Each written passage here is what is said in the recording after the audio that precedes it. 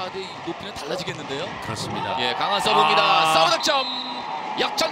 나경복의 서브가 굉장히 좋아졌어요. 어, 지금도 굉장히 각, 어, 각을 확실하게 이뤄내는 그런 모습을 보이고 네. 어, 서브가 지난 시즌 단 12개 서브 득점이었는데 오늘은 벌써 두 개씩 서브 득점이에요. 네. 자, 이번에 서브 좋았습니다. 자, 이번엔 서브 또 득점. 득점 이에요. 서브로만 3득점. 네. 나경복.